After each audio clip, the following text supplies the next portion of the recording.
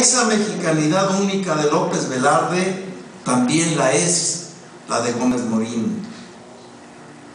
De la universidad subordinada a la autonomía del Estado emisor de moneda a la banca central, de la política de cuartel o de partido de Estado a la de un partido vertebrado en una ideología y unos principios.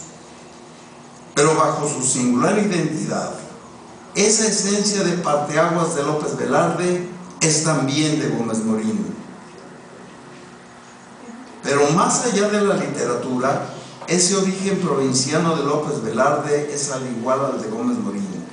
Esa profundidad conceptual expresada con belleza y con amor en el verso de López Velarde, cumple también en la prosa de Gómez Morín y esa integración que tiene Gómez Morín en el grupo de los siete sabios le cumple a López Velarde, pues la doctora Gómez Montt inserta testimonios, el de Carlos Monsiváis, quien señala que el grupo de los siete sabios eran en realidad once, y el de Juan Bustillo Oro, compañero de aquella barra inolvidable y más tarde afamado director en más de 70 películas insuperadas, dice que en realidad no eran siete los sabios de aquella generación, sino 18 entre quienes cuenta a Ramón López Velarde. Voy a terminar con, con este, para no entretener mucho su atención.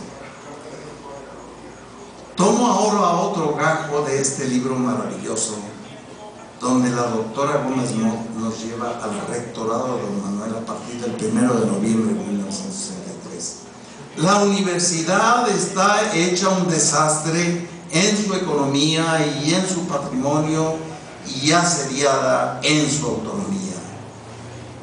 Gómez Morín nombra una comisión que tuvo a su cargo asuntos administrativos integrada por seis maestros y seis alumnos. Entre el grupo de maestros destaco el nombre de Hilario Medina Gaona, que había sido diputado constituyente en el Congreso de Querétaro 1916-1917 y que años más tarde, ojo, 1953-1958, sería presidente de la Suprema Corte de Justicia de la Nación. Qué ojo de don Manuel. Supo escoger. El otro nombre es el del arquitecto Jerónimo Gómez Rodríguez.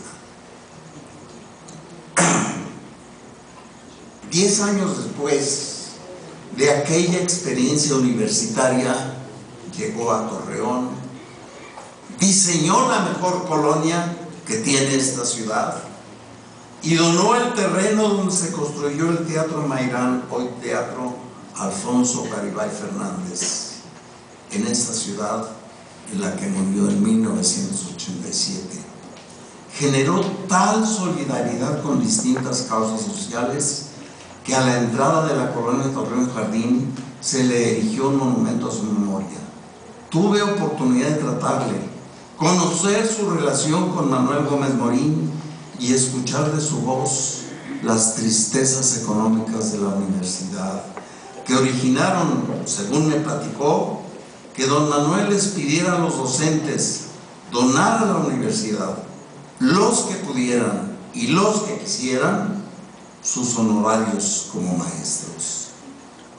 Y me platicaba el arquitecto Gómez Robeda que así se hizo.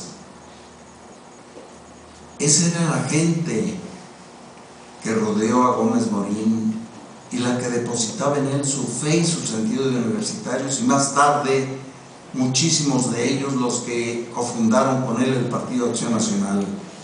Este libro contiene el acta fundacional donde aparecen sus nombres, entre ellos, y con una fotografía de circunstancia aparece don Manuel al centro, flanqueado por don Miguel Estrada Iturbide y Efraín González Luna.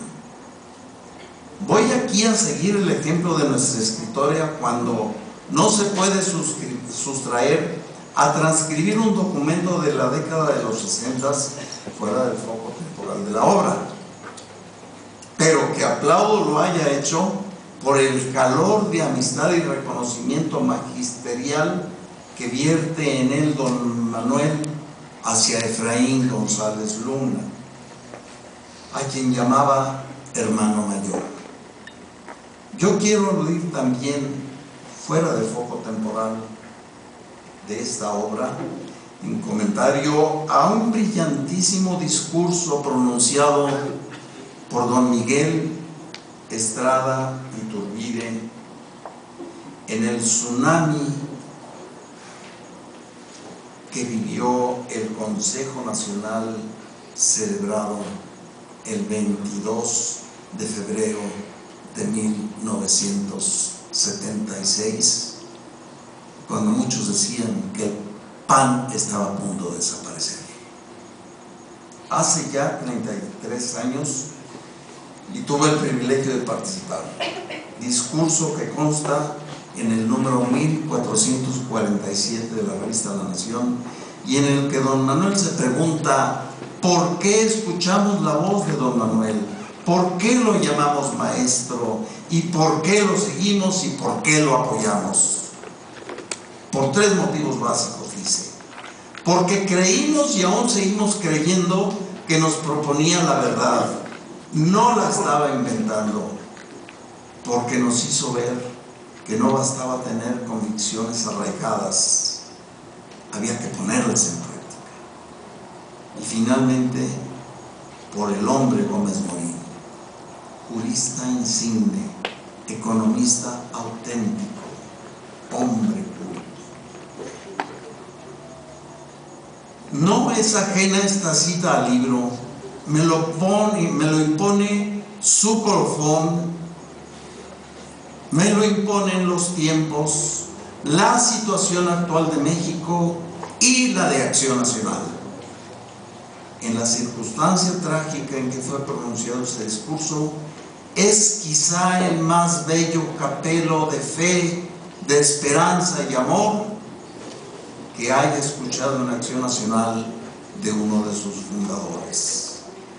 Tener ese bajaje y el que se desprende del discurso final de Gómez Morín al dejar la presidencia del partido es contar con un granero inagotable de ideas, reflexiones y experiencias que dan la imagen del hombre al que a María Teresa alude en este libro y del que no me acabo de decir muchísimas cosas que encontré y por las que el externo mi más sincera felicitación.